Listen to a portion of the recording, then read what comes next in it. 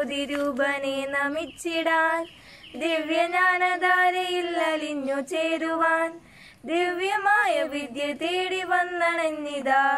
ദിവ്യപാത പുൽകിടാൻ തരുവരം വിഭോ.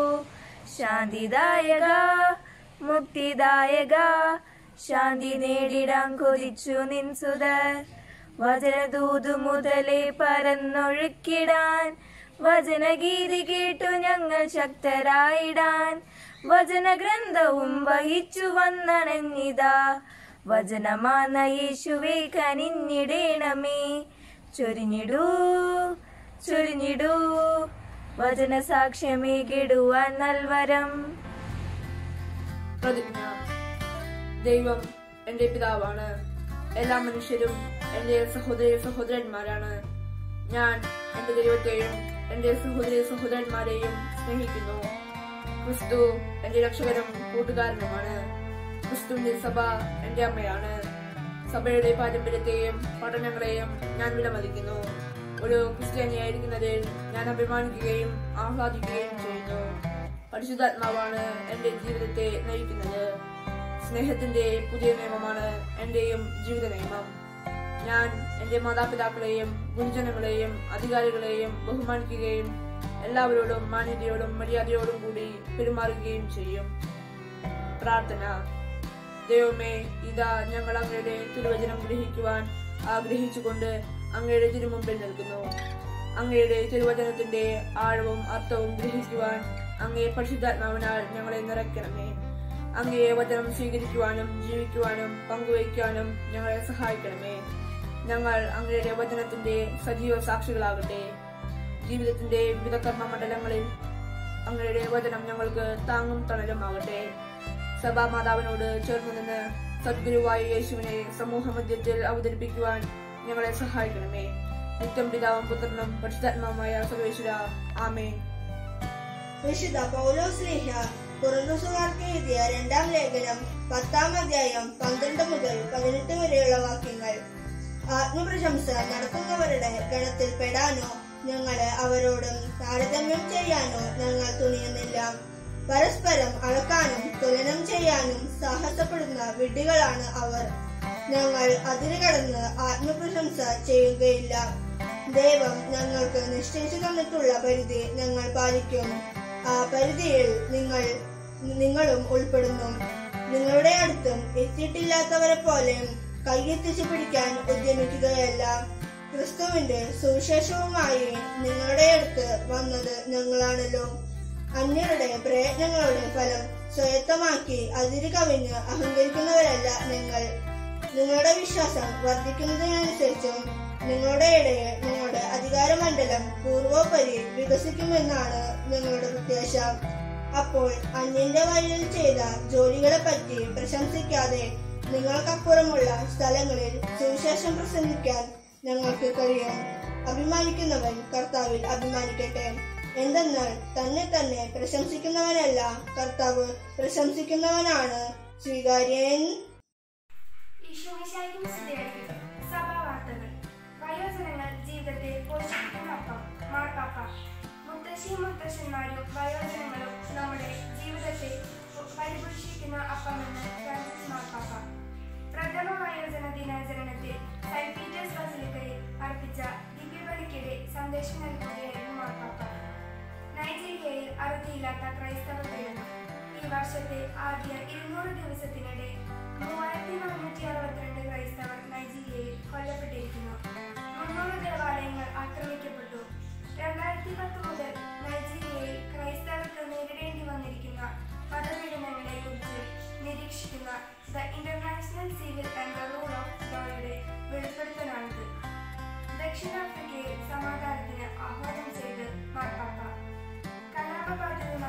ദക്ഷിണാഫ്രിക്ക സമാധാനത്തിന് ആഹ്വാനം ചെയ്ത് ഫ്രാൻസിസ് മാർപ്പാപ്പ.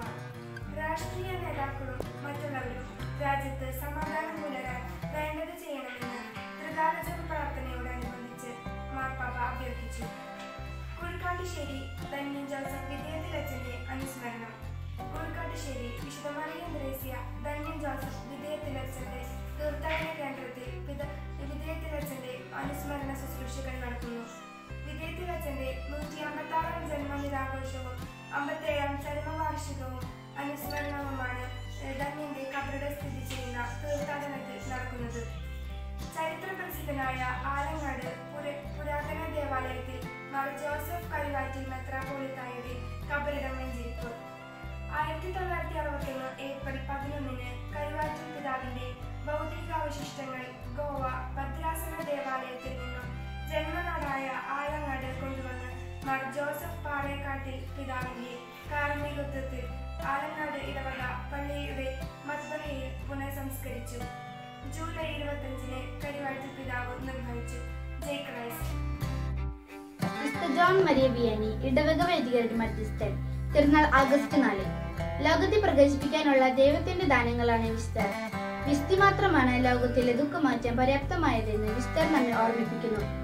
അഖില ഇടവകതെ വൈദികരുടെ മധ്യസ്ഥനായ വിശുദ്ധ ജോൺ മരിയ വിയാനിയുടെ ജീവിതവും ഇതുതന്നെയാണ് നമ്മെ ഓർമ്മപ്പെടുത്തുന്നത്.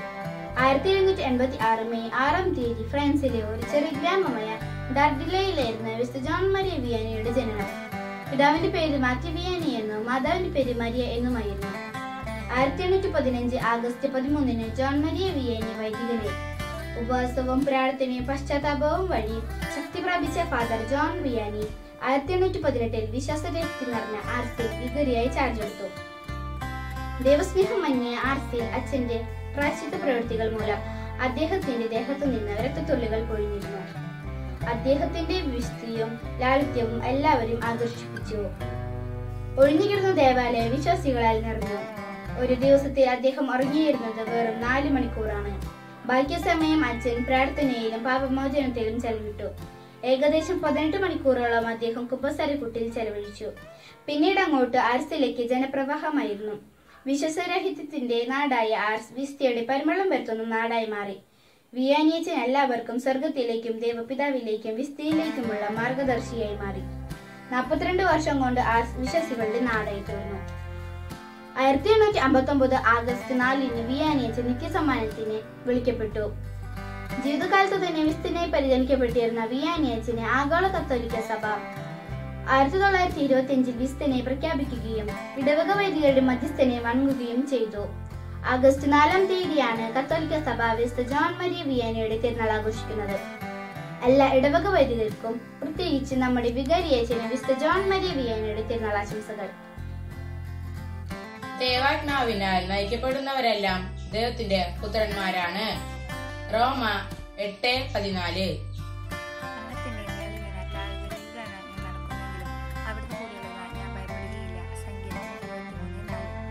ഒരുവൻ ലോകം മുഴുവൻ നേടിയാലും സ്വന്തം ആത്മാവിനെ നഷ്ടപ്പെടുത്തിയാൽ അവന് എന്ത് പ്രയോജനം? മത്തായി പതിനാറ് ഇരുപത്തി ആറ് പ്രാർത്ഥിക്കുകയും യാചിക്കുകയും യാചിക്കുകയും ചെയ്യുന്ന എന്തും ലഭിക്കുമെന്ന് വിശ്വസിക്കുവിൻ. നിങ്ങൾക്ക് ലഭിക്കുക തന്നെ ചെയ്യും.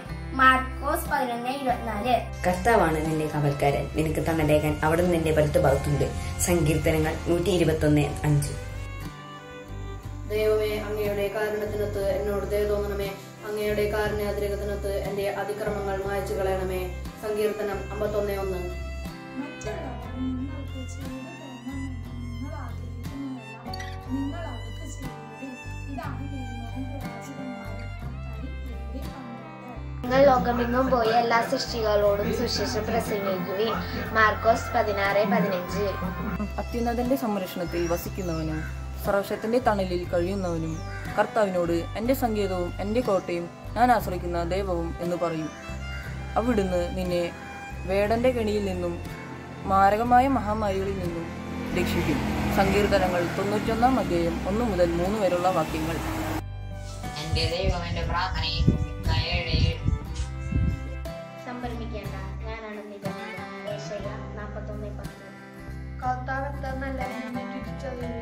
സങ്കീർത്തനം മുപ്പത്തിനാല് എട്ട്. അങ്ങയുടെ വചനം എന്റെ പാദത്തിന് വെളുക്കം വഴികളിൽ പ്രകാശമാണ് സങ്കീർത്തനം നൂറ്റി പത്തൊമ്പത് ആദ്യയിൽ വചനമുണ്ടായിരുന്നു. വചനം ദൈവത്തോട് കൂടിയായിരുന്നു. വചനം ദൈവമായിരുന്നു. യോഹനൻ ഒന്ന് ഒന്ന്. ബഹുമാനപ്പെട്ട വികാരിയച്ച ബഹുമാനപ്പെട്ട സിസ്റ്റേഴ്സ് ഹെഡ് മാസ്റ്റർ ശ്രേണി മാഷ് മറ്റധ്യാപകരെ എന്റെ പ്രിയപ്പെട്ട കുട്ടികൾ നമ്മൾ പ്രത്യേകം തിരഞ്ഞെടുക്കപ്പെട്ട ജനമാണ്. നമ്മൾ ക്രിസ്തീയ സഭയിലെ അംഗങ്ങളാണ്. എവിടെയാണ് ഈ തെരഞ്ഞെടുപ്പ് നടന്നത്? നമ്മളുടെ ജനനത്തിന് മുമ്പേ തന്നെ നമ്മളെ ദൈവം തിരഞ്ഞെടുത്തുകൊണ്ടാണ് നമ്മൾ ക്രിസ്തീയ ഭവനങ്ങളിൽ നാം ജനിക്കുന്നത്. നമ്മൾ മാമോദിസ വഴി സഭയിൽ അംഗങ്ങളായി തീരും അപ്പൊ ഈ ക്രിസ്തുവിന്റെ സഭയിലെ അംഗങ്ങളായ നമുക്ക് നമുക്ക് ഒരു പ്രത്യേകത വേണം. അപ്പൊ പ്രത്യേകം രക്ഷിക്കാൻ വേണ്ടിയിട്ട് ദൈവത്തിന്റെ സ്വന്തം ജനമായിട്ട് നമ്മളെ തിരഞ്ഞെടുത്തിരിക്കുന്നു. അപ്പൊ നമുക്ക് എല്ലാ കാര്യങ്ങളിലും നമ്മൾ പ്രതികരിക്കുന്ന കാര്യങ്ങളിൽ നമ്മൾ ഒരു തെരഞ്ഞെടുപ്പ് നടത്തുമ്പോൾ എല്ലായിടത്തും നമ്മൾ ഒരു പ്രത്യേക രീതിയിൽ വേണം എല്ലാ കാര്യങ്ങളും ചെയ്യാനായിട്ട്. അപ്പൊ നമ്മളോട് എങ്ങനെയാണ് പെരുമാറാൻ പറയുന്നത്? നമ്മൾ ഇന്ന് ഈ ലോകത്തിൽ കാണുന്നത് എന്താണ്? നമ്മളോട് ഒരാൾ ദ്രോഹം ചെയ്താൽ നമ്മൾ തിരിച്ച് അയാളെ ദ്രോഹിക്കുക.